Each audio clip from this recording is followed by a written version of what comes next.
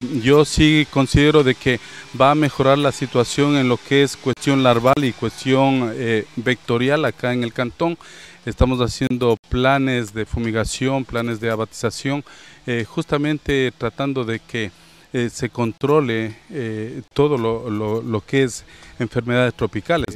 Esta información debe dar la, directora del distrito porque va a haber la participación también del municipio y va a haber algo interinstitucional y eso veo muy bien.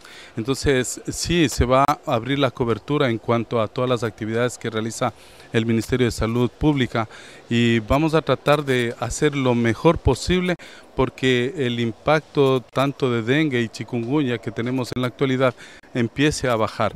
Yo ah, quería aprovechar su medio de comunicación y más bien eh, decirle a la comunidad de que cuando vea al servidor del Ministerio de Salud, eh, les den el apoyo, les abran la puerta y, les apoyen en el trabajo que ellos van a realizar porque realmente el problema está en todos los acúmulos de agua que existen en cada una de las viviendas.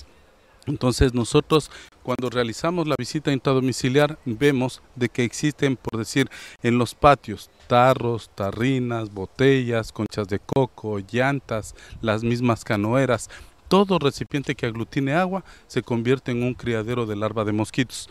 La gente debe estar clara que el Aedes aegypti, que es lo que ellos conocen el gusarapo o tirapatada, es la larva de la Aedes aegypti. El Aedes aegypti es el transmisor de la enfermedad dengue y chikungunya. Entonces, si nosotros tenemos el control absoluto de los criaderos en cada una de las viviendas, nosotros no vamos a tener el impacto que hemos tenido. Entonces, desde ese punto de vista, si yo creo y considero que debe de tener en consideración algunas recomendaciones, como es los tanques de agua, tener limpios y bien tapados. Eh, todo lo que son las lavanderías, los aljibes, de igual forma, limpios y bien tapados. Dentro de las viviendas se deben haber plantas acuáticas, floreros, eh, eh, tienen por decir las plateras, tienen que revisar que no exista larva de la Aedes aegypti.